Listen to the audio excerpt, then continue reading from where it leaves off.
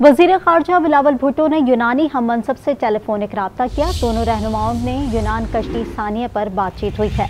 वज़ीर खारजा ने ट्वीट में लिखा कि यूनानी वज़ीर खारजा से मुसीबत में फंसे पाकिस्तानियों की सहूलत और बरामद शुदा लाशों की शनाख्त और वतन वापसी के लिए मिलकर काम करने पर इतफाक हुआ। याद रहे कि तर्जमान दफ्तर खारजा सैलाब बलोच ने बताया था कि कश्ती उलटने के हादसे में एक सौ चार लोगों को बचाया गया, जिसमें बारह का ताल्लुक पाकिस्तान से है, जबकि दो पाकिस्तानी हस्पताल में जेर इलाज थे।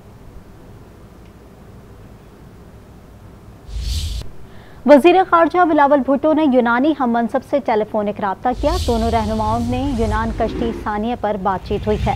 वज़ीर खारजा ने ट्वीट में लिखा कि यूनानी वज़ीर खारजा से मुसीबत में फंसे पाकिस्तानियों की सहूलत और बरामद शुदा लाशों की शनाख्त और वतन वापसी के लिए मिलकर काम करने पर इतफाक हुआ।